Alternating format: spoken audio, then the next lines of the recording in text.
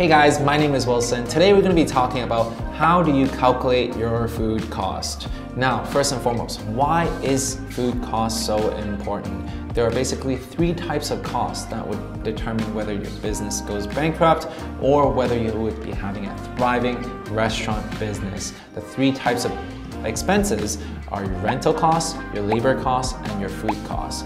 So these three things adds up to close to 75 to 90% of your revenue, okay? So what that means is that if you can control one sector and one component of this cost, you're gonna be able to maximize the amount of profit that you can bring home, okay? And in the food and beverage world nowadays, the margins are already thin enough. We're talking about 5 to 10%.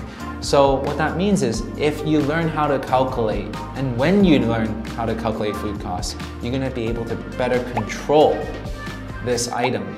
And when you can better control this item, that means that you can have a bigger pot and bigger profit that you can bring home, which is the reason why today we're going to be talking about how are you going to be able to calculate your food cost. So now that you understand the importance of why food cost is so important, I also want to bring to you the three benefits of actually understanding it, okay? It is because the first benefit is so that way you can strategize and engineer a new menu. There are items on your menu that once you calculate the food cost, you understand and you would know that does not make sense because these items, every time you sell one, you're losing money. Because for example, if the cost of your burger is like $8, but you're selling it for only $12, then that means that your cost of goods sold is way too high to sustain this product. That means you're not making money from this product. Aside from cost of goods sold, you also need to account for your labor, your rent, and everything. And when you count everything within this item, it's not making money, then why are you selling it? Same thing goes with actually creating new items.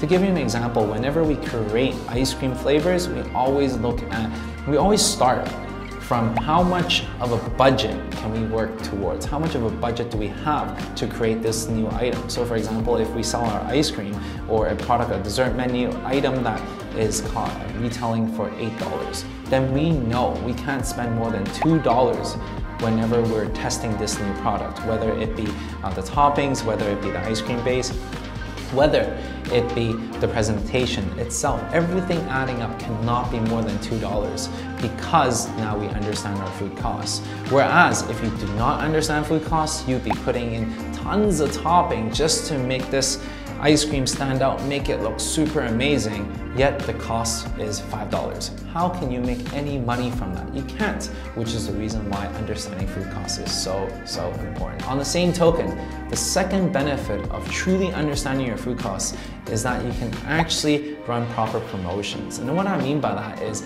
if you're running promotions, so many of us are running promotions, but we don't even know if we're making money or not. If you are, every time you sell a product, every time you sell an item, it's not making money, then why are you running that promotion? It's a lose-lose game, okay? Your clients and your customers are so used to you running promotions that they won't purchase from you unless you run a promotion. And at the same time, you keep running promotions that are not generating you any profits, then what's the point? A lose-lose scenario. On the same token, if you understand food costs, if you understand, for example, a piece of cookie, it costs you around 25 cents to 50 cents to make, and you retail and you sell it out to the public for $5 that's a really healthy margin that you have. And if you want to use your cookie as a promotional item where, you know what, come and buy a cookie for 50% off, tons of people will be flooding in. They're gonna, you're gonna charge them 250, yeah, it takes you 50 cents to make, and you still have a ton of margins to play with. You still are able to benefit from that and to be able to profit from that, which is the reason why you can be very strategical when you're running these promotions that half price cookies and when people come in for their cookie, they're gonna order a cup of milk, which you can charge at full price. And that's a very, very smart way of running promotions, all because of the fact that we understand cost of goods sold, food costs. The third and final benefit that I'm going to be sharing with you today is that you can actually make more profits by understanding the seasonality of the cost of the goods that you're buying. So for example, produce, fruits, Whenever we have any summer promotions, we usually buy our strawberries or our mangoes at the peak at the most supply time that the produce is being um, harvested, we buy a ton of it and then we cut it up and then we freeze it so then that way we have an um, ample supply of ingredients. Why do we do that? It is because mangoes don't always come that cheap. Usually within a month time, they become more and more expensive as the season fades on. But because of the fact that we understand that, we understand cost of goods sold, we're able to strategize, buy them in bulk, buy them and store them.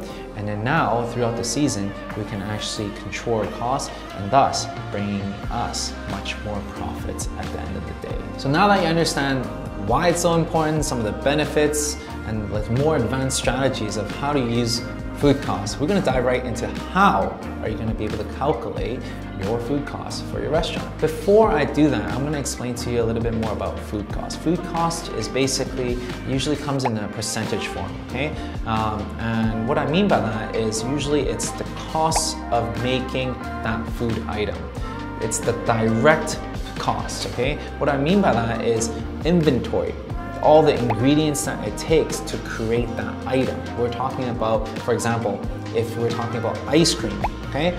We're talking about the cups, we're talking about the napkins, we're talking about um, the dry ice that we have, we're talking about the milk, we're talking about the powders, the sugar, the topping. These are all the ingredients that goes into making this item, okay?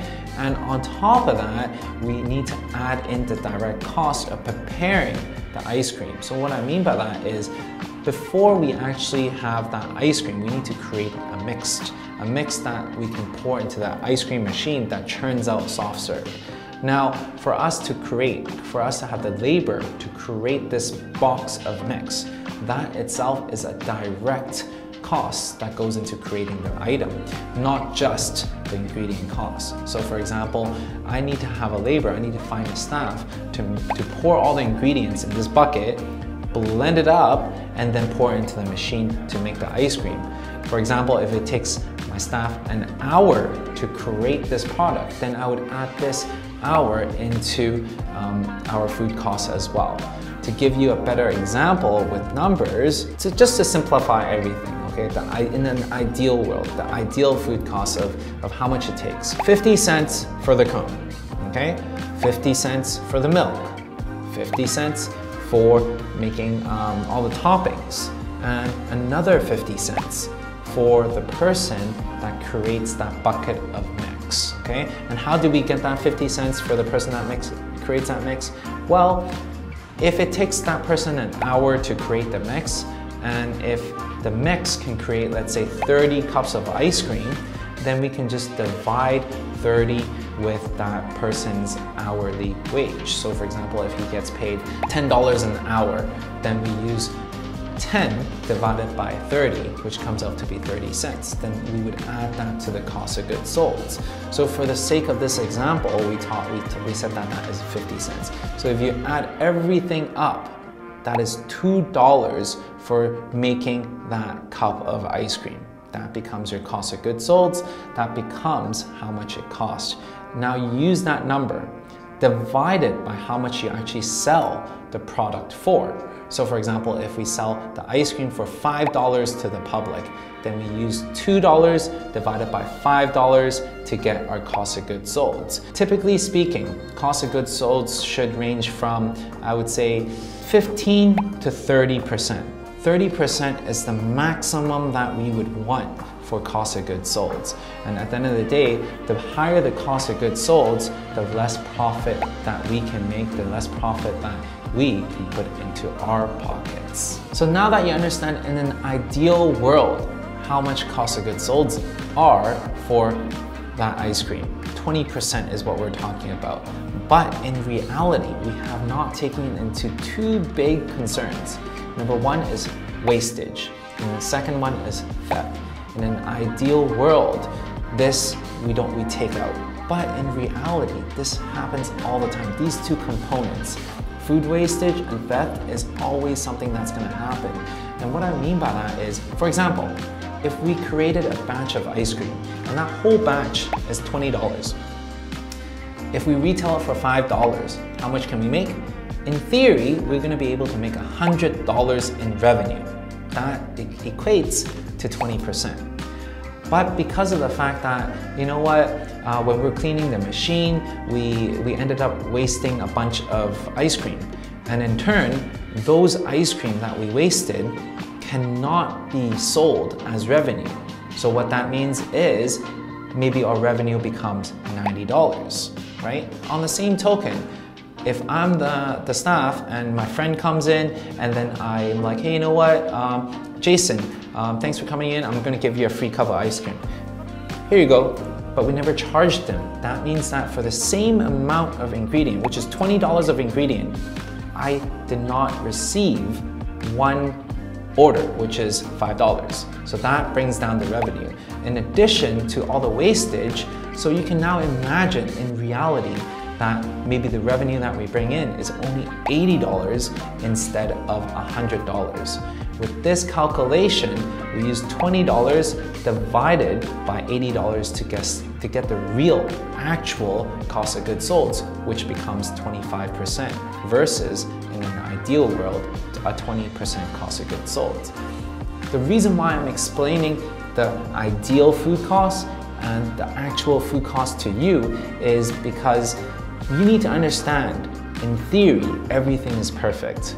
However, our job as owners, we need to understand what is realistic, what is it, and how we can control our cost of goods sold. So now that we understand the two biggest components, food wastage and theft, we're gonna have to keep a lot of close eyes to maintain and to take this element and to prevent these things from happening to ensure that our cost of goods sold is at an optimal percentage.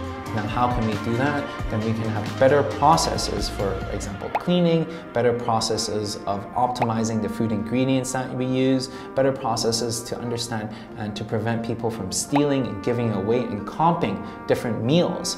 This all acts up to, to your profits. So at the end of the day, you need to make sure, and why are we even calculating food costs? The reason why we're calculating food costs is for us to be aware of how much we're actually spending. Now, how do you calculate actual food costs? All you have to do is, in the beginning of the month, check your inventory. At the end of the month, check your inventory again. Take the difference, then that's the amount of ingredients that you've used throughout the month, and you're gonna be able to use that to benchmark it against the revenue you're able to generate uh, for each food item then you're gonna have a better understanding of the actual food costs. And for you to understand it, now you can manage it properly. So then that way you can gain more profits into your pockets. So there you go. We just talked about the importance of understanding your food costs. We just talked about how do you calculate your ideal food costs versus your actual food costs. As a rule of thumb, we want to be able to aim for a maximum 30% of an actual food cost because anything higher, you're gonna be left with no margins to play with. So many times we're, we're actually looking at our bank account, we're like, wow, we're making tons of money on paper, but in our bank account, it, money's not showing up. It is because of our expenses outbeats the revenue that we bring in. Just because we make $10,000 doesn't mean it all goes into our pocket. We need to pay for tons of money for rent, tons of money for labor, tons of money for cost of goods sold. So our job as owners, as restaurateurs, is to control this cost, minimize it to below 30, so then that way we can have a healthy margins for us to take home. So I really hope you've enjoyed this video. I've, the only thing I really ask for is for you to smash the like button. That's the only thing that really helps me along this whole YouTube journey. If you guys have any questions, leave it in the comment section below. And if you want to learn more about how do you understand building a restaurant, how do you engineer better menus so then that way you can profit a ton, how do you have like more than a thousand loyal fans so then that way you don't need to worry about the competitors around the block, or just understand my journey on building an ice cream empire, then definitely check out in the link below. I created this course of something that I I've done for the last 10 years. So definitely check out in the link below. Otherwise, follow along this whole journey. I'll see you guys in the next video.